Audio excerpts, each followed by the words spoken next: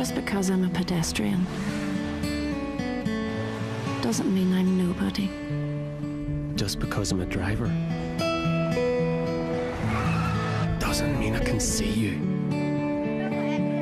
Just because you're at the speed limit doesn't mean you're not dangerous.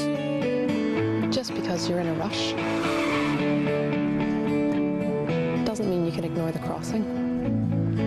Just because you're driving doesn't take away my right of way. Just because it seems clear doesn't mean you shouldn't stop. Just because you're surrounded by metal doesn't mean I'm not flesh and blood. Just because your friends are chatting doesn't mean it's safe for you. Just because I'm in trainers doesn't mean you can run me down.